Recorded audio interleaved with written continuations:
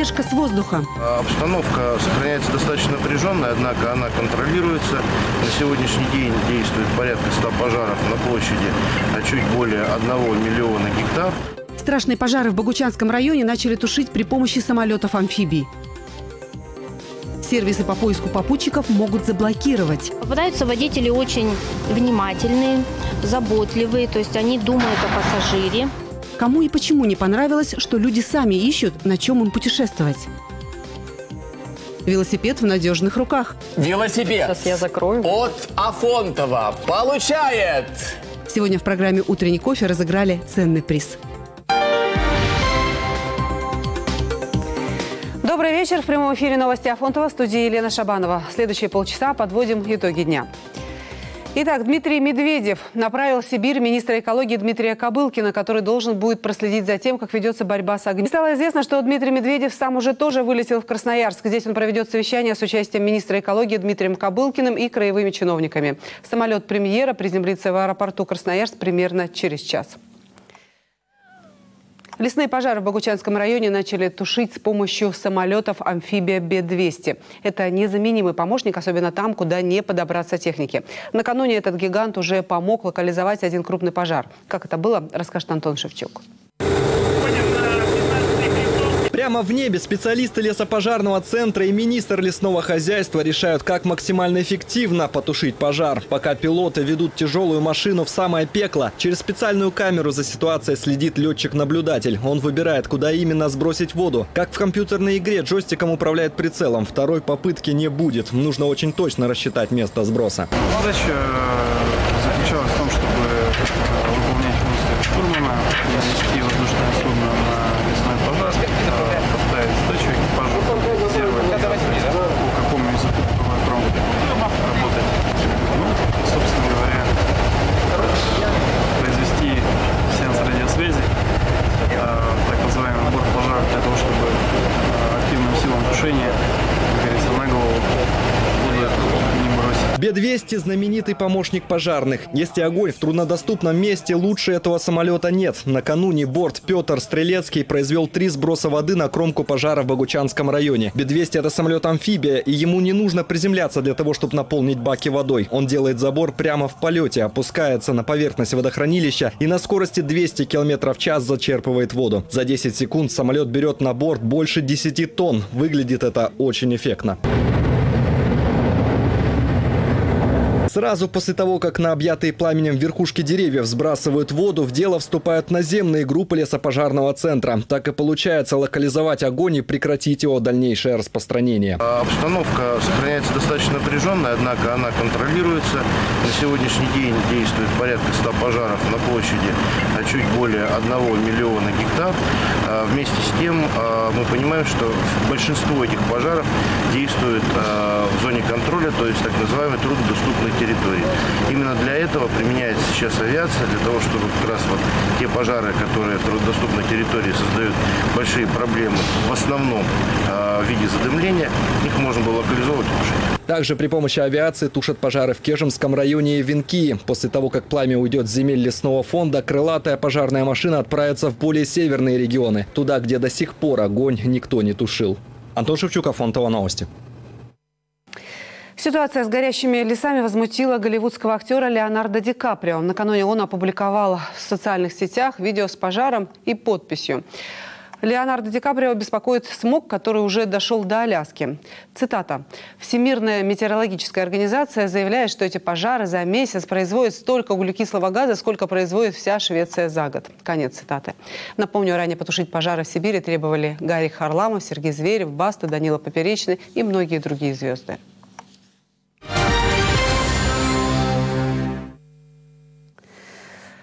Забор вокруг кампуса СФУ все-таки уберут. Об этом рассказал Максим Румянцев, который накануне стал исполняющим обязанности ректора вуза. Правда, сроков знаменательного события новый руководитель не называет. Ограждение вокруг кампуса университета воздвигли перед, универсиа... перед универсиадой. Студенческие общежития сделали деревни для спортсменов, а забор был призван защитить атлетов. Когда игры закончились, убирать периметр безопасности не стали. У университета на это не оказалось денег. Забор вызвал много критики в адрес руководства вуза от студентов и преподавателей, которым пришлось обходить ограды, чтобы войти и выйти. Забор – тема наболевшая. И раз уж министр об этом говорит, вы знаете, что это объект наследия универсиады. Он определенную функцию свою выполнял. Мы уже вчера с коллегами, которые правовые аспекты э, э, в университете курируют, э, обсуждали возможность его демонтажа. Добавлю, Максим Румянцев, в отличие от предшественников на ректорском посту, не профессор, а доцент. Имеет степень по философии, высшее образование получал в педагогическом университете имени Астафьева. И по образованию он учитель русского языка и литературы. В СФУ про нового начальника говорят, что он стоял у истоков объединения вуза и работал в команде первого ректора, профессора Ваганова. Румянцев работал директором гуманитарного института СФУ и был проректором по учебной работе. В прошлом году он ушел в заместитель краевого министра образования. Чтобы избавиться от приставки ИО, Максиму Румянцеву необходимо проработать год, а решение будет принимать специальная комиссия правительства России. В федеральных университетах процедура выборов ректора не проводится. Сервисы по поиску попутчиков могут заблокировать. С таким предложением к депутатам Государственной Думы вышло Всероссийское объединение пассажиров. Там считают, приложение по оказанию подобных услуг не гарантирует безопасность людей. Ольга Хохлова разбиралась в плюсах и минусах работы сервисов. Удобно, комфортно и дешево. Сервисами по поиску попутчиков Анжела пользуется уже полтора года. Чаще всего ездит в Ачинск. В то время как на автовокзале билет стоит 424 рубля, водители легковушек просят 350. Говорит, опасалась только при первой поездке. Со временем привыкла и незнакомцам стала доверять. Тем более, что попутчиков в машине всегда трое. Попадаются водители очень внимательные, заботливые, то есть они думают о пассажире, о его комфорте. И некоторые даже довозят ну, практически до дома. И забирают тебя иногда из дома или из того места там, после работы, допустим. Тем не менее, во Всероссийском объединении пассажиров считают такие сервисы небезопасными и просят депутатов Государственной Думы запретить сайты, которые оказывают услуги по перевозке людей в разные города. В список попали сразу 229 приложений. Больше всего опасений у активистов вызывают водители автобусов, которые набирают в салон 9 и более попутчиков. Такие шоферы должны получать лицензию, а сервисы обязаны проверять наличие документов. Есть масса прецедентов, когда люди бронируют э, поездку на легковом автомобиле, а по факту едут в автобусе. И те пассажиры, которые пользуются такой услугой, они крайне недовольны, потому что они видят абсолютно зачастую технически неисправное транспортное средство. Количество жертв за прошлый год превысило 200 человек. Это именно от нелегальных перевозчиков. Если Государственная Дума не поддержит данное предложение, это означает, что они потворствуют работе нелегальных перевозчиков. Это серая схема обналичивания денег. У официального перевозчика человека. Сам водитель проходит утром медицинское обследование, он проходит а, на состояние здоровья, он чувствует себя хорошо и допускается к рейсу и без, безопасно может вас перевести.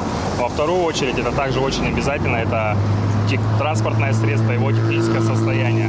У официального перевозчика проверяется а, перед, перед началом движения. Техническое состояние, все неисправности в случае обнаружения транспортное средство не допускается на выход на линию. Предложение пассажирского объединения депутаты Государственной Думы приняли и планируют рассмотреть уже ближайшей осенью. Известно, что чиновники Минтранса с активистами солидарны и внесут свои поправки в закон. Возможно, что перевозка попутчика не чаще одного раза в день не будет считаться предпринимательской деятельностью. Ольга Хохова, Михаил Ткачук, Афонтова. Новости. С 10 августа изменится схема движения сразу двух автобусных маршрутов и появятся новые остановки. 65-й автобус поедет до агротерминала. Его маршрут пройдет по улицам Естинская, Гайдашовка и Полигонная. По просьбам пассажиров увеличат и количество автобусов. Это позволит сократить интервал движения. Изменения коснутся и автобусного маршрута номер 49. На нем можно будет доехать до спортивного комплекса «Радуга». Всего туда будут ездить 4 рейса. Они будут обозначены табличкой. При новой схеме движения на маршруте добавится 4 остановки остановки «Снежная», «Рябиновый сад», «Березовая» и сам спорткомплекс «Радуга». Расписание движения маршруток будет размещено в салонах и на конечных остановках. Все автобусы с 49-го маршрута начнут ездить до спорткомплекса в начале сентября. В сентябре месяце, после того, как спортивный комплекс ну, войдет пункт в стопроцентную загрузку, а, принято решение, что схема движения 49 будет продлена с микрорайона Ветлужанка до спортивного комплекса «Радуга». То есть в схему добавляется 4 новых остановочных пункта. Это в первую очередь еще и будет положительным этапом для населения это новых микрорайонов, которые построены на улице Елены Стасовой. Полицейские нашли тайник с ценной рыбой на 4,5 миллиона рублей. Это произошло в деревне Канготово Туруханского района. Стражи порядка наведались в один из частных домов, хозяина которого, видимо, заподозрили в незаконной ловле. В самом доме ничего не нашли, но зато увидели странные электропровода, которые вели к заброшенному сараю. Внутри обнаружили две холодильные камеры с рыбой. Всего изъяли 595 штук стерляди и 12 осетров. Каждая тушка была упакована в пищевую пленку и готова к продаже. Хозяину, если его причастность будет доказана, грозит до трех лет лишения свободы работы. Яму возле детской площадки по улице Маяковского, 4 заделают. Месяц назад мы рассказывали о том, что жители боятся обвала дороги. Во дворе после дождей образовалась яма глубиной около трех метров. Это был уже третий провал. Тогда районные власти сказали, денег на ремонт нет. Сейчас яма стала больше, ее огородили лентой и поставили дорожный знак. В администрации нам рассказали, угрозы для жизни людей нет. Деньги на сегодняшний день нашли в резервном фонде. На данный момент идет поиск подрядчиков для скрытия вскрытия асфальта и засыпки ямы. Такое решение было принято на комиссии по чрезвычайным ситуациям. Подготовлен локально-сметный расчет. Проведено визуальное обследование. Выявлено, что э, существует сегодня э, необходимость устранения этого провала путем э, вскрытия э, определенного, определенной квадратуры и, соответственно, засыпки всей полости, которая там определена. Закрытый щитом провал – это не решение проблемы, поэтому надо его довести до того логического завершения, которое не позволит безопасно проживать жителям этого дома. Подошел к концу конкурс от программы «Утренний кофе». Новый спортивный велосипед разыграли в прямом эфире. Победителя не пришлось искать долго. Приз отправился к новым хозяевам прямо из здания Афонтова.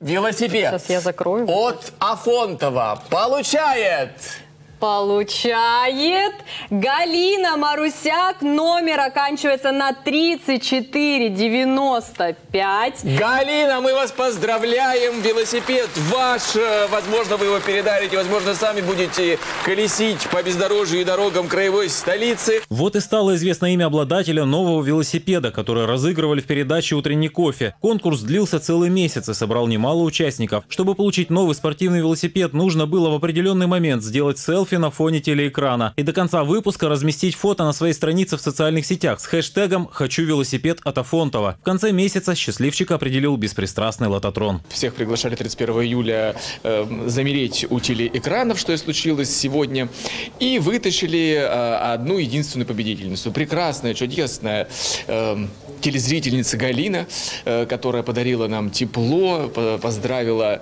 э, с тем, со своей победой также. Э, пришла без шампанского, ну ничего страшного.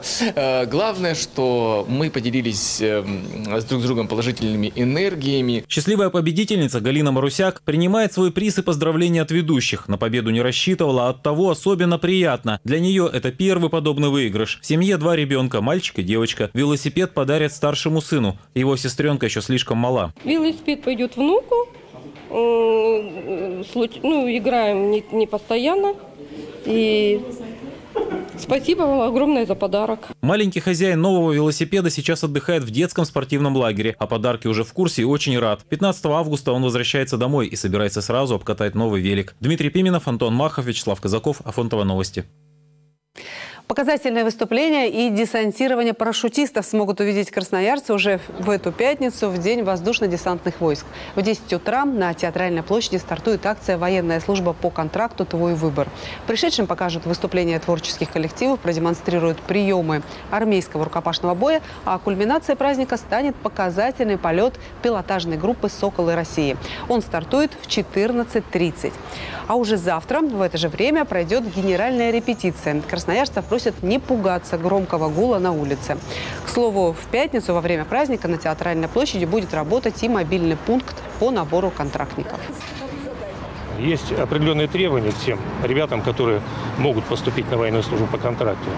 Это и те, которые уже отслужили срочную службу и даже отслужили по контракту, решили вернуться в армию.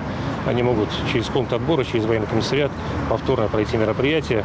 Могут ребята, которые даже не служили в армии, которые собираются служить срочную службу, у них есть выбор. Если у них есть высшее профессиональное образование или среднее профессиональное образование, они могут вместо года военной службы по призыву э, поступить и отслужить два года по контракту.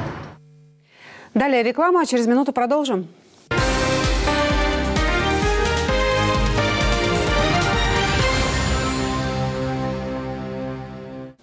В эфире новости Афонтова, мы продолжаем выпуск.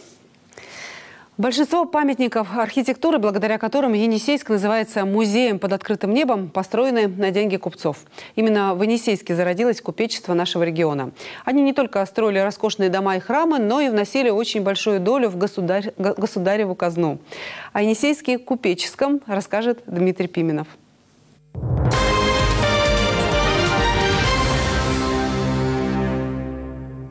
Вот это Мингалевы. Ну, здесь уже хозяина нет, здесь мои только бабушки. На этих листочках хранится память о семье Мингалевых, потомках старинной купеческой фамилии. Гавриила Мингалева после революции упрятали в тюрьму за происхождение, но выпустили, он стал первым енисейским летчиком. А его брат, несмотря ни на что, продолжал писать иконы. Но больше всего прославился их дядя, Дмитрий Мингалев. В архиве сохранилась запись не сколько о его торговых делах, сколько о меценатских. В 1860 году Мингалев обнес кладбище деревянной оградой и насадил более 300 деревьев кедра – Именно в Енисейске зародилось сословие купцов Енисейской Сибири. До этого все торговцы были пришлые. Первыми енисейскими купцами были выходцы из посадских людей, живущих в окрестностях Острога, да казаки. Например, предки известных енисейских купцов Дементьевых занимались пошивом обуви. К занятию торговли их подталкивало обилие пушного зверя в местной тайге. Сибирский мех входил в моду не только в Москве, но и в Европе. Мягкая рухлядь, как называли тогда шкурки, была основой экономики, как нефть сейчас. С момента основания Енисейского острога и до конца века было добыто более 7 миллионов соболей. Пушным промыслом занимались очень длительное время и 18 и 19 и начало 20 столетия. А практически до 17 года в Енисейске проживал хотя бы несколько купцов, которые занимались пушным торгом. Пушной промысел в Енисейской тайге приносил львиную долю дохода в государственную казну. Уже к 18 веку в Енисейске числилось более трех тысяч купцов. Енисейская ярмарка была главным центром пушной торговли Сибири в 18 веке. В 18 веке в Енисейске построили большой гостиный двор. Он располагался примерно вот на этом месте. Это было большое двухэтажное здание, внутри которого находились 112 торговых помещений. Одним своим фасадом он выходил на берег Енисея, другим на главную улицу, большую, ныне улица Ленина. Сейчас этого здания, увы, нет. В XIX веке приоритеты у местных купцов сменились. Ушные запасы истощились, зато в тайге нашли золото. Местные купцы быстро переориентировались, стали поставлять продукты старательским артелям, да и сами занялись золотодобычей. И опять обеспечили гигантский приток денег в государеву казну. В начале XIX века Енисейская ярмарка утратила свое значение. Торговля мехом переместилась в Ирбитскую и Туруханскую ярмарки. После строительства Сибирского тракта большая часть грузоперевозок стала проходить не водным, а гужевым транспортом. Тем не менее, именно благодаря купечеству на улицах города появились сотни прекрасных зданий, благодаря которым Енисейск называют городом-памятником. Рояль в кустах, зеленая аптека и цветочный поезд. На территории детских садов теперь можно увидеть не только стандартные цветочные клумбы и качели с песочницами. Специалисты учреждения и родители продолжают соревноваться в творческой фантазии, а на территории появляются необычные локации. Екатерина Усатенко готова рассказать, что нового появилось в этом сезоне. Можно не только муку молоть мельницы, еще и ветряные, которые специальную энергию вырабатывают. В 182-м детском саду подворье пополнилось симпатичным зверьем. Тут гуси, куры, хрюшки, кошки с собаками, еще мини-домик и целые цветочные аллеи. Их высадили выпускники. За циниями, петуниями и розами теперь ухаживают все. Над созданием сухого ручья тоже потрудились ребятишки. Камни собрали с территории, дружно покрасили. Фигуры животных уже дело рук взрослых. Рабочий у нас вырезал эти фигуры, разрисовали, лаком покрыли. Вот выставили все. Детям, конечно, понравилось очень, родителям очень сильно нравится. А все в восторге. Гости, которые к нам приходят в детский сад, все говорят, ой, как у вас красиво, как к вам попасть. В девятнадцатом саду словно потрудился ландшафтный дизайнер. Аккуратные грядочки с луком и базиликом обрамлены цветами. Тут не только клумбы на любой вкус, но и скамейки в виде всевозможных животных, стилизованные урны для мусора. Даже есть зеленая аптека. Здесь дети точно знают, какая трава лечебная. Есть и собственное злаковое поле. Растет подсолнух, овес, ячмень и рожь. Осенью сбор урожая. Самовыращенные злаки хороши для поделок.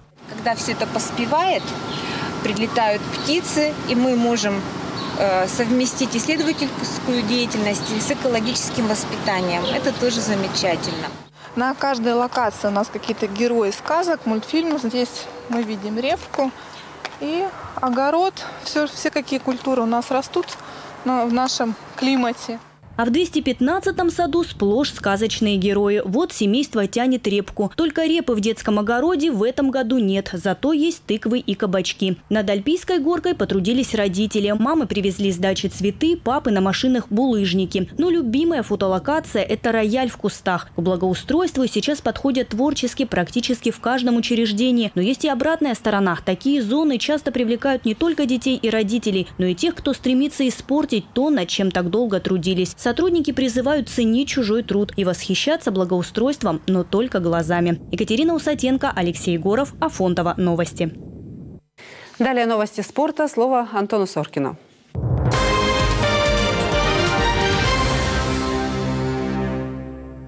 Футбольный Енисей начал предпринимать шаги для улучшения ситуации после провального старта в чемпионате ФНЛ. Руководство клуба включило в тренерский штаб команды опытного специалиста Юрия Газаева. Пока Газаев будет работать в клубе в качестве тренера-консультанта, но не исключено, что в скором времени именно он станет главным тренером. Ни Александр Алексеев, ни Виктор Тренев с этой ролью явно не справляются. После пяти туров в чемпионате команда одержала одну победу, при этом забив всего два мяча и пропустив в пять раз больше больше. Следующий матч красно-синие проведут на выезде 3 августа у красноярцев сибирское дерби в Томске. При этом Енисей узнал предполагаемых соперников в Кубке России. На стадии 1-32 финала сибиряки встретятся с победителем пары Носта-Тюмень. Кубковый матч с участием Львов назначен на 21 августа. Рафтингистские енисеюшки заняли второе место в многоборье на Кубке мира, прошедшего в Китае. В Зюане проходили старты в классе четырехместных судов. Команды разыграли 4 комплекта комплекта наград. В итоге Енисеюшка в слаломе и спринте выиграла золотые медали, а вот в длинной гонке и параллельном спринте стали вторыми. Красноярки уступали только чешским спортсменкам, в итоге выигравшие общекомандный зачет. Но именно наши рафтингистки по итогам соревнований были приняты в клуб «Зеро», как экипаж, преодолевший две попытки в слаломной гонке без штрафа. Это было под силу немногим. В Зюане такой чести удостоились только мужские команды из Бразилии и Чили.